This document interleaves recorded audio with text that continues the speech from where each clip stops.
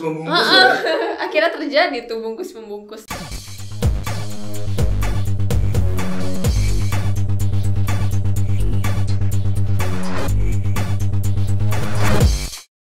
Selamat datang lagi di Bang Bang Tut. Yoi. Kali ini ngebahasnya nggak sama cowok nih. Oke. Akhirnya bersama seorang perempuan. Hai, Namanya Anissa. ini Anissa dan sama Anissa gue nggak akan ngebahas vape apalagi kopi. Mm-mm. Kita ngebahas tentang apa sih? Berita-berita terkini. Oke, jadi kita mencoba mengulas ya. Mengulas. Iya. Ya, sekalian gibah lah kayaknya Sekalian ya. gibah bisa. Untuk saat ini kita mau ngebahas tentang si siapa ya? Si Gilang Bungkus. Gilang Bungkus Yang lagi membungkus. rame. Ada tweetnya di Twitter. dari MV Chris. Nah, uh, tweet tweetnya bisa teman-teman lihat di deskripsi. Mm-mm. Hmm, linknya ada di bawah dan teman-teman bisa baca juga. Jujur waktu aku pertama baca nih Iya. merinding ya. Sama, Kak. Iya. Aku juga merinding. Jadi uh, si Gilang ini disebutnya fetish sama kain jari. Mm-mm. Tahu kain jari? Aku baru tahu tadi. Oke. baru tahu tadi. Jadi kalau buat teman-teman yang nggak tahu kain jari, kain jari itu sebutan buat uh, orang Jawa buat ini ya, kain yang buat gendong bayi. Mm-mm. gitu kan jadi kan biasa gendong bayi pakai kain yang panjang gitu dan itu namanya kain jarik dan dia ah, disebut sama si yang nge-spill ini Mm-mm. sama si Fikris Fikris. ini Mm-mm. kalau dia ah, sebutannya fetish kain jarik dan berkedok itu menarik gitu Riset riset akademik. riset akademik tentang apa sih ah, ekspresi manusia ketika dalam keadaan tidak bisa melakukan apa-apa wow agak ngeri Agak ya. aneh sebenarnya. kasus ini melibatkan ini ya antara korbannya maba ya Mm-mm. dan si pelaku ini adalah cutting, udah cuttingnya. semester 10 kalau nggak salah sih aku baca. oke berarti next 11 ya Iya, dan belum lulus lulus kayaknya. sama dong sama aku nih ampun yang anehnya ya, eh, korban ini itu bukan dari daerah yang sama Mm-mm. bukan dari kampus yang sama dengan pelaku Jadi kenalnya dari sosial media, lagi-lagi sosial media. Lewat IG kalau nggak Iya. salah. Jadi kita mencoba ngebaca tweetnya. Pertama mereka di DM IG itu kan. Mm-mm. Eh, selamat siang dek. Siang mas. Terima kasih fallbacknya deh oke bla bla bla bla bla bla. Ini yang sembarangan sembarangan fallback gini nih emang kadang-kadang yang bahaya ya. Betul sekali. bisa di DM terus langsung ini nggak nggak pakai basa-basi loh langsung, Langsung diminta. di, iya, dan langsung ngasih nomor WA nya bener. Kalau aku Iya. sih takut banget jujur kalau ngasih-ngasih nomor. Mm-mm. Apalagi baru kenal kan itu kayaknya belum sehari deh. iya kayaknya sih dari chat nggak ada sih di sini ya cuman iya, iya, bener-bener baru baru banget. tanggal berapa nih Tuh, sama Kak. Jamnya Iya. cuma beda 2 jam doang. Dan Oh, iya. langsung ngasih nomor. oke Bahaya banget sih itu. aku aja minta nomor Nisa nggak mudah loh ya Betul. Takut ya. Betul. padahal udah hampir tiap hari ketemu Oh, gitu. iya. akhirnya mereka pindah ke WA dan baru dijelaskan Mm-mm, ada Oleh- maksud tertentu. Oke, dan maksud tertentunya adalah diminta untuk gini ya. Yang menarik nih, aku baca di statementnya gini. Misal kamu mendengar eh, untuk mana ya, bungkus membungkus apa yang kamu pikirkan. Jawabannya iya bungkus ketupat ya bener. Iya bener, aku ketawa loh itu. Iya. Eh, makanan kecil atau jajanan Iya. di sana. Bungkus membungkus. Ya bener sih. Bener sih, gak Iya. salah. Ini ya, aku ngebaca ini nih eh, bagaimana si Gilang ini melakukan approaching atau eh, penetrasi ke si korban. Korban. itu tuh chatnya bener-bener kayak ini ya pernah nggak sih ditelepon sama penipu Pernah. pernah ya jadi kayak Uh. dia anak agak nekan terus Iya, gitu nekan kan. iya, nekan Mm-mm. terus. ini pokoknya juga kayak eh, chatnya Gilang ini ada lima chatnya si korban cuma satu gitu kan jadi Mm. kayak ya kayak cowok PDKT kan chatnya banyak Iya. ya ntar kalau dia, dia jadian sama udah mulai bosen kan kebalik Betul. ceweknya yang ngejar-ngejar memang begitulah Sering terjadi, guys. begitulah begitulah nah kan nih bener kan tuh chatnya ada tiga si ini cuma balas oh iya iya, Dan dia panjang banget bener-bener ngejelasin maksud dari tujuan dia tuh apa. dan kayak mencoba ini ya mengambil poin supaya si korban tuh nggak sempat mikir Mm-mm. Iya dong. Mm-mm.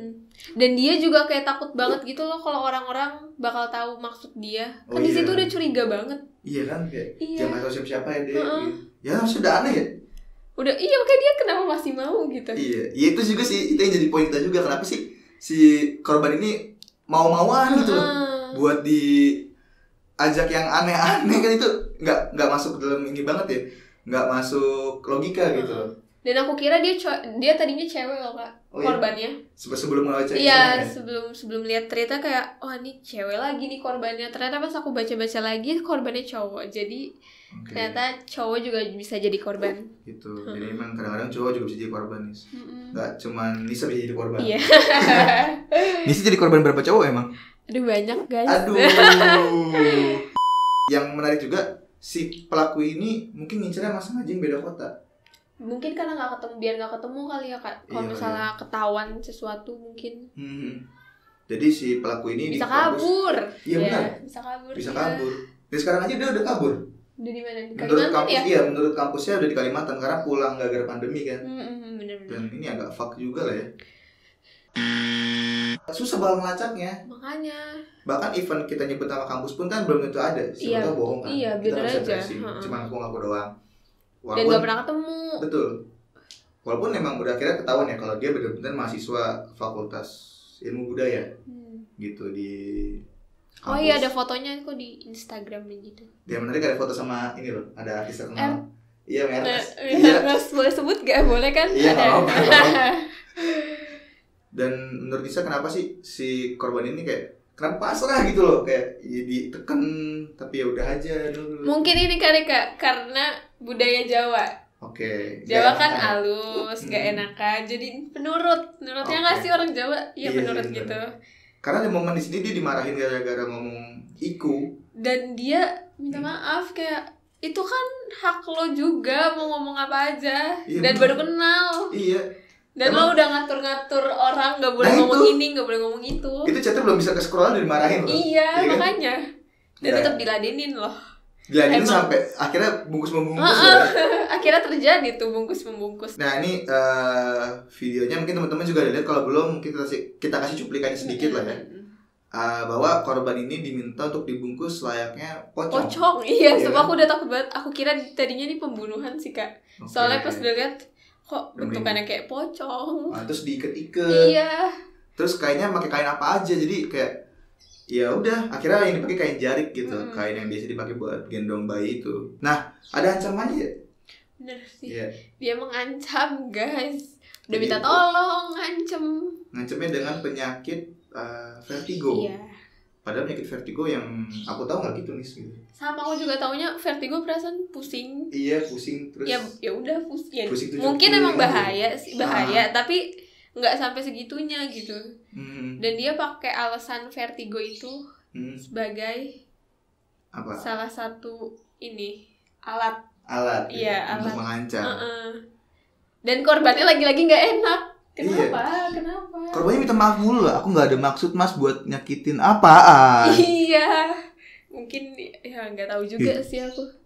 Dan drama banget sih. Karena Iya. penyakitnya itu drama banget. Ya Sa- satu ada kecurigaan lain juga nih Saku Apa? kenapa mereka nggak pernah ngelakuin telepon Hmm, iya. Iya kan? Se aku dapatnya di sini pun ini sifatnya bukan telepon Dan dia ngasih tutorial caranya juga lewat teks kan, lewat chat. iya Nggak betul. lewat nggak lewat telepon atau video call gitu enggak. Hmm. Iya semuanya teks semua ya Iya, jadi dia tutorial pas ya? iya dia ngasih tutorialnya tuh kayak foto abis itu dia jelasin di di chatnya gitu. Emang udah aneh dari awal, kenapa? kenapa nggak curiga ya iya makanya. dan itu mungkin cuma bisa kejadian yang nggak tahu ya kalau di sini ada kejadian gitu atau enggak ya Hmm. yang jelas kalau kejadiannya di daerah sini pasti uh, udah bukan Udah. pelecehan seksual tapi yang ada gilangnya mati dipukulin ya. Iya, udah diserang di Jakarta sih. pasti udah dikandangin lah jelas lah ya bukan kasus fetis lagi tapi udah kasus pengeroyokan. Iya, betul betul. pembunuhan berencana. Nah, aku juga dapat poinnya kalau misalnya si korban ini kebanyakan masuk perantauan. Iya, jadi dia dari uh, desa kali nyebut ya sebuah desa di daerah tertentu terus ngerantau ke kota yang lebih besar gitu. Terus Mungkin yang- karena itu kali ya ke bawah Hmm. dari desa-desanya dia jadi mungkin masih beradaptasi si maba-mabanya ini jadi masih nurut-nurut aja sama orang-orang yang baru kenal, belum mengerti gitu loh Hmm. kalau semua ini bahaya di dunia ini. iya bener ada komen-komen yang menarik gini lagian kamu kenapa mau sih segala macam ya tapi kalau uh, dari sumber uh, apakah dia setertekan itu sampai mau atau gimana Menurut aku sih mungkin kayak balik lagi ke pribadinya dia ya, kayak Hmm. dia nggak enak kan orangnya. Mungkin karena perantau itu kan, jadi Hmm. dia belum tahu nih eh, baru kenal sama orang. Jadi mungkin eh, niatnya awalnya kayak mau bantu mau bantu doang. Tapi ternyata dia dijebak gitu kan. Terus juga nggak tahu mungkin uh, adat di sana seperti apa sih? Nah iya Gitu perbedaan kan. perbedaan ini loh. Kebiasaan kebiasaan kebiasaannya ya. Mungkin dia nggak bakal ngira gitu loh misalnya ini bakal eh, jadi iya juga sih. jadi suatu modus Mo- modus iya modus iya iya jadi sebuah modus kejahatan. Iya. Tadi cuma main bantu doang mungkin ya niatnya baik kok tapi Bener. disalahgunakan. Kasihan juga ya. Kasihan. Orang-orang baik emang. Jadi pesan moral dari Indonesia jangan jadi orang baik. Ya. Ah, gimana? Gimana gimana? Ya harus jahat sih kayaknya deh sekali sekali nggak jahat sih maksudnya Apa milih-milih. Milih-milih. Iya jadi yang nggak pasti nggak usah lah ya Mm-mm. cari yang pasti-pasti aja lah ya. Betul. Dan ini loh kak yang dia drama yang sampai bawa-bawa orang tuanya di WA yang ini ya iya oh iya dia bikin status Uh, uh, WA dia gitu kayak ya nggak nggak tahu ya ini seolah-olah seolah-olah orang tuanya atau emang beneran orang tuanya Hmm, tapi dia kayak di sini ngeliatin gitu loh kalau misalnya dia punya penyakit hmm. punya penyakit vertigo yang akut gitu yang terus sampai bikin dia cemas sampai dia bikin kepikiran gitu-gitu Hmm. jadi dan pengen ngerasa eh pengen bikin korbannya tuh ngerasa kalau misalnya dia ya udah ngelakuin kesalahan iya dan gitu ya. harus minta maaf sama si Gilang ini Oke. emang udah aneh banget sebenarnya banget sih emang dari awal chat aja tuh udah wah Iya. Dan kita sih bukan pengen ngebahas fetishnya ya, Iya. tapi bagaimana teman-teman mencoba aware sama orang-orang iya, asing. gitu. Ha, ha, ha. Jadi eh, mungkin jangan ngerasa mentang-mentang kayak gue nih, gue cowok dan yaudah sih tenang aja cowok eh, apa ya bahasanya nggak akan jadi korban. Ternyata nggak juga. tapi ternyata cowok bisa jadi korban kok Oke Nisa, setelah semua kejadian ini, Hmm. menurut Nisa nih sebagai yang ini kan masih maba itu Nisa, ya? iya aku masih Iya. maba baru mau punya junior kan? iya gitu. Menurut Lisa apa nih pesan buat sesama teman-teman yang nanti bakal masuk kuliah kak? Apalagi online loh kuliahnya besok. Hmm. Gitu. Ada pesan-pesan apa nih? Ya terkait kejadian ini lah ya gitu. Eh, ya mungkin buat teman-teman ya sesama mahasiswa lah ya nggak Hmm. nggak nggak nggak maba doang Hmm. dan semua pokoknya semua masyarakat Indonesia remaja-remaja Indonesia Hmm. eh, kita harus ini sih aware sama dalam menggunakan sosial media soalnya sekarang sosial media kan emang udah bebas banget kan digunainnya buat apa aja Betul. buat nipu buat buat apa ya pokoknya kejahatan-kejahatan juga banyak banget kan di Hmm. dilakukan di sosial media di sosial media jadi kayak mungkin lebih hati-hati aja sih dalam menggunakan sosial media Oke. jangan apa ya jangan mengundang orang-orang untuk melakukan jahat gitu loh Jangan gimana ya mengundang. Iya jangan Iya iya. iya. jangan memancing orang juga Oke. gitu Karena dan terlalu terbuka juga bisa memancing ya. nah iya itu dia jadi ya pinter-pinter sih harus bersosial media Anissa 2020. aneh aduh udah Buat yang tadi bawah sini ya. Itu aja lah teman-teman. Tapi btw, gue belum ngebahas. Ternyata gue lihat Nisa selama video ini mirip artis ya. siapa tuh Mirip Vanessa Priscilla. Yoi. Siapa ya Milea Milia. Yoi. kakak udah orang kesekian tau yang ngomong Oh iya? mirip nggak guys Tapi nggak mirip nggak? Eh, pas nonton tuh kayak kok kayak ngaca nggak Iya, juga iya. Iya iya. iya. Enggak kok, tapi ya mungkin ngeliat kok kayak ada sedikit kemiripan. Dan namanya sama loh, aku di rumah dipanggilnya Sasa dan dia Oh, iya? dipanggilnya Sasa juga. Oh gitu. Panggilnya Sasa, Nisa. Iya. Menarik sekali. Aku juga manggilnya Sasa nanti ya. Eh, jangan dong. Jadi kayak orang rumah jadi. Thank you banyak buat yang udah nonton. Iya. Jangan lupa di like. Comment and subscribe. Jangan lupa juga nyalain loncengnya. Oke. Biar kalau ada video baru teman-teman bisa langsung tahu. Itu aja dari kami, gua Fatur dan Anissa. kita pamit. Salam. Bang, Bang Bang Tur.